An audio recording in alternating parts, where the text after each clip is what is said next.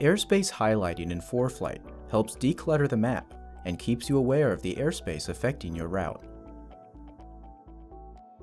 Available as part of ForeFlight's data-driven aeronautical map layer, airspace highlighting changes the contrast of airspace boundaries based on whether your route intersects the airspace at your planned altitude.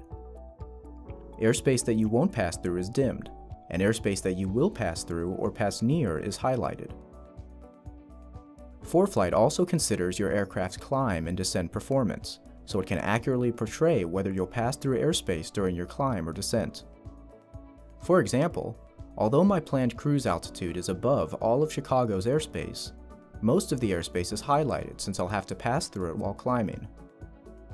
On the other hand, the airspace directly above my departure airport isn't highlighted, since I won't climb fast enough to intersect it on my present route. If I decide to fly west to gain altitude before turning east, then the opposite happens.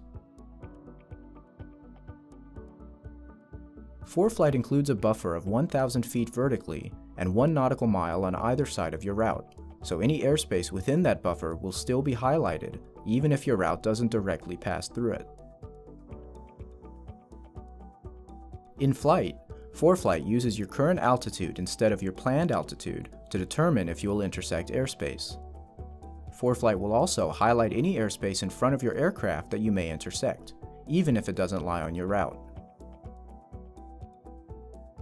You can disable airspace highlighting in the Map Settings menu under Airspace.